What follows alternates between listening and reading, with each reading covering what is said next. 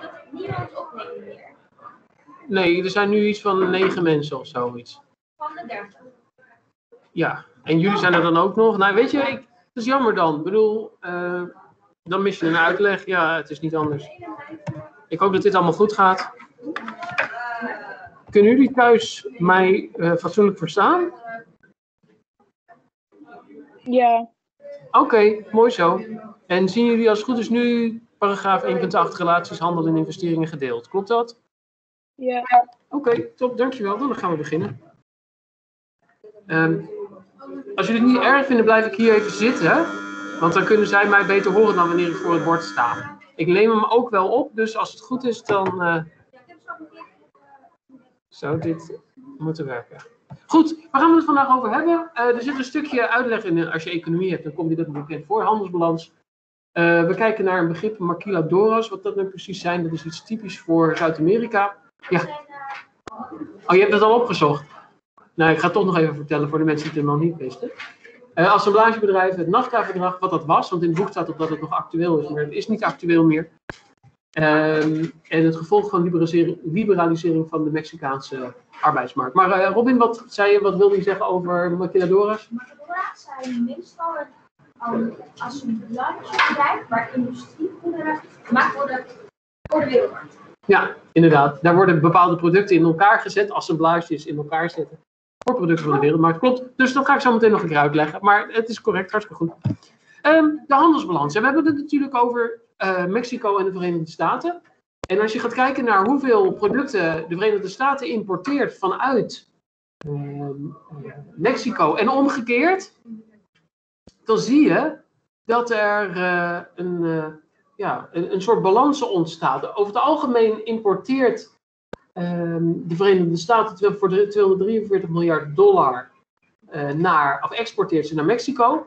En Mexico exporteert daarentegen 293 miljard euro of dollar aan goederen weer terug. En dat is heel goed dat Mexico dat doet, want als je het hebt over de handelsbalans, als die positief is, dus als je meer exporteert dan importeert, dan levert dat geld op voor de economie. En dan krijg je dus te maken met economische groei.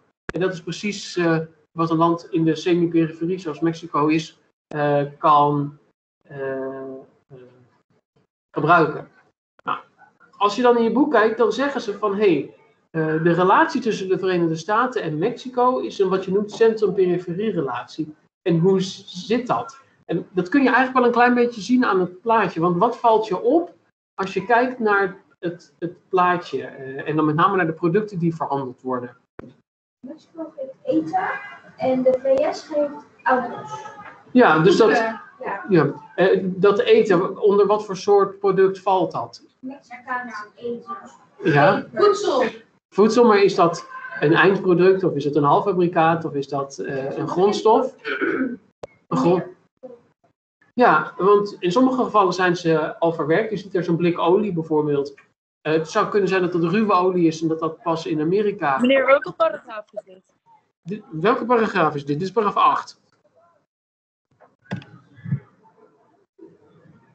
Oh, nou, toen was het weer stil.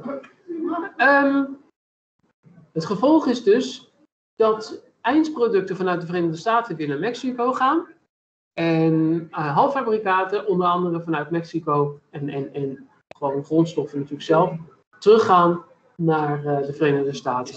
Nee, We hebben door J, D, E. Hij is sowieso naar huis.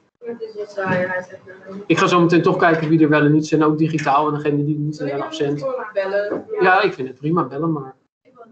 Ehm, maar goed, dit, dit valt dus onder het begrip ehm, centrum-periferie-relatie. En wat wil dat nou zeggen? Ehm, wat voor soort land is de Verenigde Staten? Waar valt de Verenigde Staten onder? Centrum of periferie? Ja, inderdaad, Verenigde Staten is. Ja, ja. En Mexico is geen periferieland, maar een semi-periferie. Dus dat zit toch aan, met name in de industriële fase.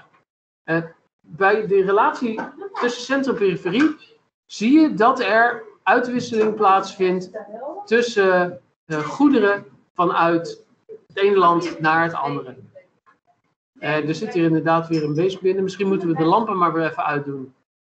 Eddie, wil je de lampen uitdoen als je wil? Gewoon alle twee maar eventjes. Ja, links, Oh, eh, nu naar links. En dan om de kast heen bij dat raampje. Daar in de hoek, die blauwe paal. Daar zit het, die ja, en daar zitten de knopjes. Nou, voor de mensen thuis, er zit weer een les binnen. Dat zal er dus niet. Nee, nee, nee. Oké, nou ja, jammer dan. Nou, gelukkig hebben we genoeg ruimte om te bewegen. Nu, ik ga wel rustig verder, want de mensen thuis denken, wat gebeurt hier allemaal? Ehm, nou, Robin zei het net al, de uh, maquiladoras, ofwel assemblagebedrijven. En ik heb even foto's opgezocht van die assemblagebedrijven in, eh, in Mexico.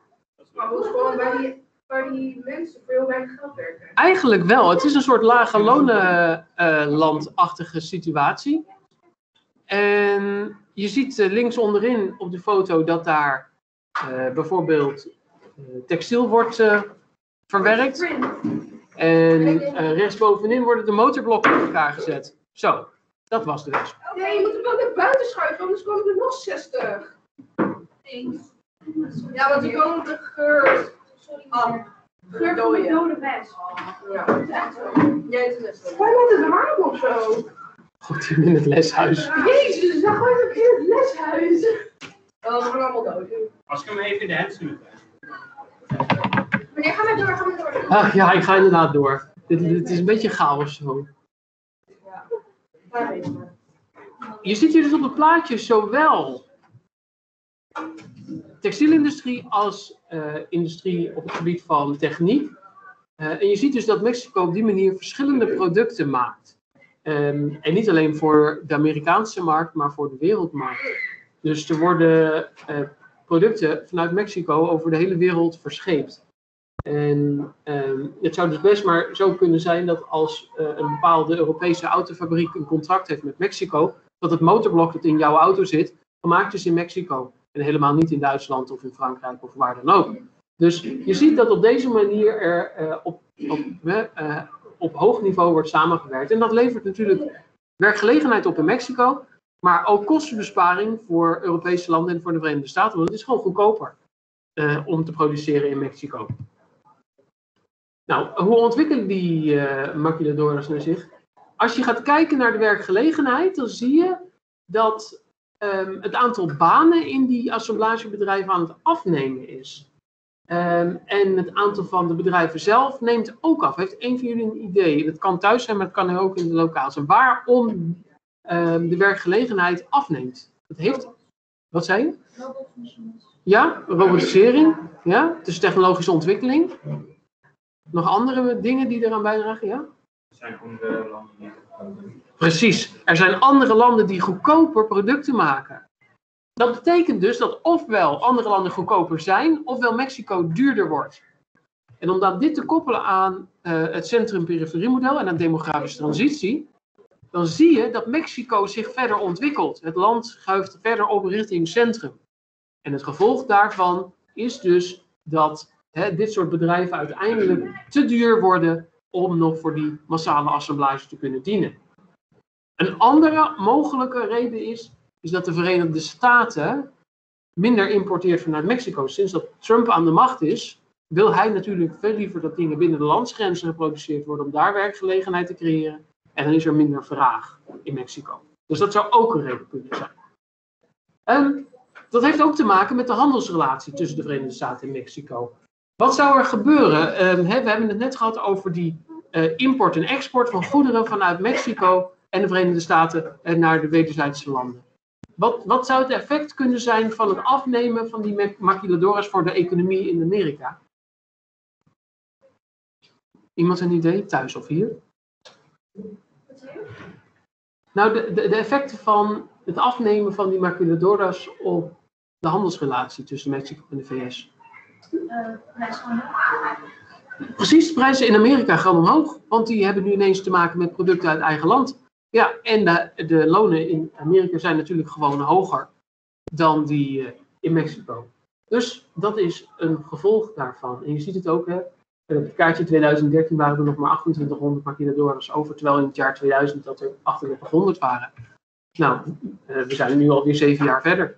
Dus eh, nou, als je er zeven jaar bij telt, dan kun je ervan uitgaan dat we nu misschien op 2000 zitten. Dat is een behoorlijke daling. Nou, dan even kijken naar deze kaart. Ehm, wat valt je op aan de ligging van die maquiladoras? Waar eh, zie je ze voornamelijk liggen? En die maquiladoras zijn op de kaart weergegeven met een zwarte stip. Op de grens van Mexico. Ja, precies, op de Mexicaanse grens. En het gevolg is.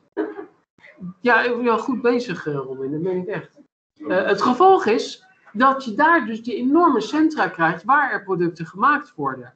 Ehm, waar, waarom specifiek langs de grens? Waarom zouden ze dat doen? Ja. Eh, ik denk misschien dat het gewoon handig is, omdat het gelijk dichtbij Amerika is. Precies, hè, de, de, de, de, de producten hoeven maar weinig afstand af te leggen. Dat is inderdaad ook een reden. Ehm, zou er nog een andere reden zijn waarom het dicht bij de grens ligt? Andere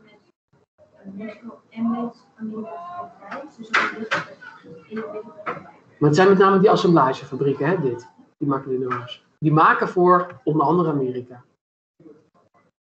Hè, er worden natuurlijk ook de spullen teruggehaald vanuit Amerika, maar dat zijn vaak eindproducten.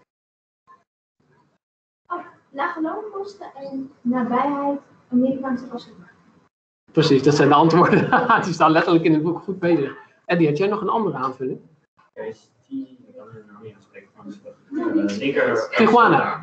Dat is de grote.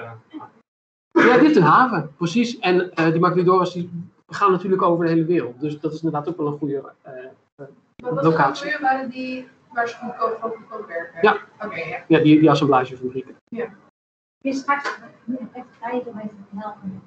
Kan zo meteen wel eventjes. eh. Ja, Maar eh, Robin, kijk, wat ik in de pre- presentatie had gezet. Dat staat letterlijk zo in het boek, dus eh, prima. Ehm, we kijken er nog eventjes naar welke deelstaat is het inkomen per hoofd hoger in Arizona of Sonora. En uiteraard in Arizona, want is Amerika dus meer euro per persoon. Wat valt je op aan de ligging? Ze liggen vooral net over de grens in Mexico, hebben we ook al gezegd.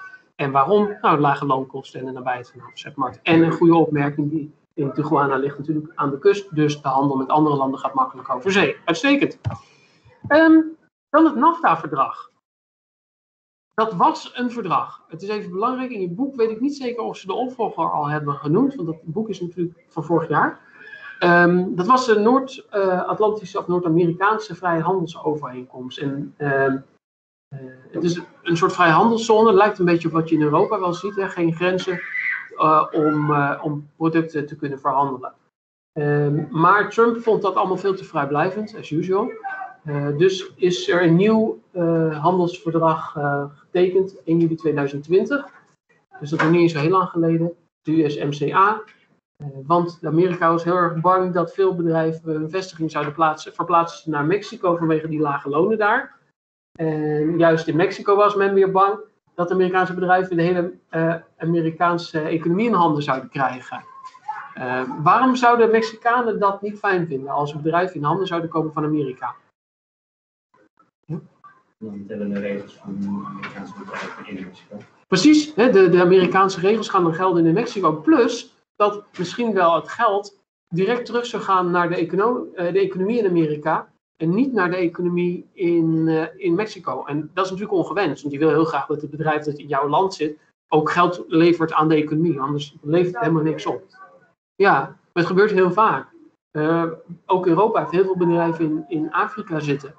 Eh, en dat, heet je, dat noem je landgrabbing. En waar ze niet zozeer fysiek het land leegscheppen, maar wel het geld terugbrengen naar ons, terwijl het land zelf er niks aan verdient. En dat is natuurlijk niet zo goed. Eh, Shell is daar best goed in, ja, klopt.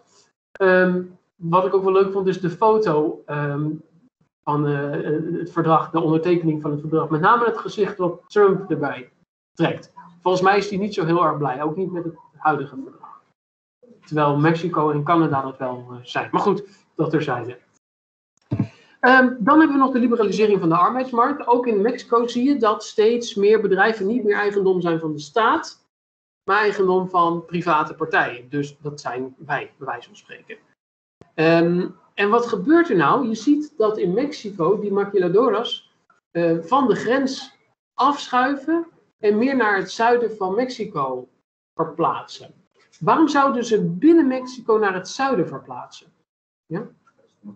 Ja, precies. Het zuiden van Mexico is goedkoper dan het noorden. Er is nog een andere reden waarom zouden ze. Eh, de lonen zijn lager in het zuiden van Mexico. Ja. Ja. Ehm, waarom, zouden, waarom zouden ze ook van die eh, Amerikaanse grens afgaan? Ja, naar het centrum van het land, oké. Maar het heeft een andere reden. Het heeft iets met de Verenigde Staten van doen. Zodat ze niet die Verenigde Staten eh, Ja, eh, dat ze niet die regels van de Verenigde Staten moeten nakomen, dat is er ook één. Nee, dat niet zozeer. Nee, het is meer, met name van de Verenigde Staten wil hun producten niet meer of minder. Eh, vanwege die regels van Trump, hè, al die beperkingen die Trump heeft ingevoerd. Dus schuiven ze naar aangoedkopere plaatsen en plekken waarvanuit ze weer makkelijker kunnen handelen naar eh, het buitenland, waardoor ze wel hun geld kunnen verdienen. Ehm, maar ook liberalisering heeft daar mee van doen. Waarom zouden de loonkosten lager worden door liberalisering van de markt? Misschien wel een lastige. Waarom worden loonkosten lager, lager door liberalisering van de markt? Wat heeft marktwerking van doen met loonkosten? Eh, omdat het eh, ook wordt geïmporteerd en geïmporteerd. Hmm, Dus dan is de ja, waarde. Er zit een dat heeft meer met de vrije markt te maken. Oh. Ja, ik weet niet, het maar wat ik deed heel even slim. Nou, je denkt wel in de goede richting. Omdat werkgever. Precies, meer werkgevers betalen minder. Dat zie je in Nederland ook. Als je twintig bedrijven hebt die hetzelfde product maken, dan ga je natuurlijk als, als eh, eh, eh, winkel je product kopen als kwaliteit tenminste hetzelfde is bij de goedkoopste leverancier. Dus dan gaan ja, lonen zullen dalen als er te veel eh, aanbod is. Eh, dus een beetje marktwerking, een beetje economie. Maar dat is natuurlijk wel wat gebeurt. Als een staatsbedrijf het is, dan kan de staat zeggen van nou iedereen in Maquiladora verdient 5 dollar per uur, zeg maar wat. En als dan eh, het een liberaal, eh, een geliberaliseerd bedrijf wordt die zegt van nou je doet voor 1 dollar per uur. De mensen willen dat natuurlijk niet. Eh, maar ja, ze hebben wel werk nodig en dan zie je dus dat het eh, eh, ontstaat. Ja, precies, kapitalisme. Ehm, je ziet ook dat eh, er eh, productie verplaatst. Mexicaanse bedrijven die dus geliberaliseerd zijn, die verplaatsen hun productie naar Azië omdat het goedkoper is of naar Afrika. Ook dat gebeurt. Ehm, en de staat heeft daar dus gewoon minder invloed op.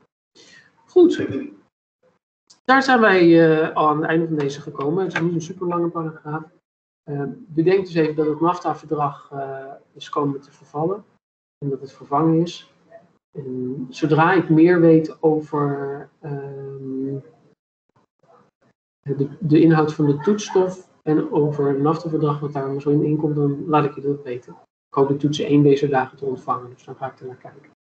Zijn er nog vragen? Ook thuis misschien?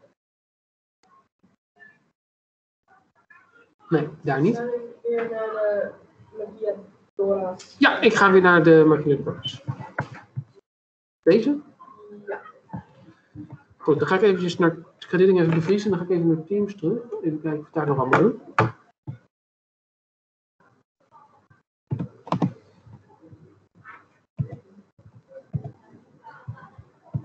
Nou, het gaat niet echt goed.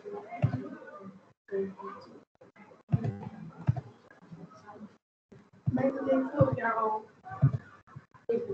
Dus, ehm,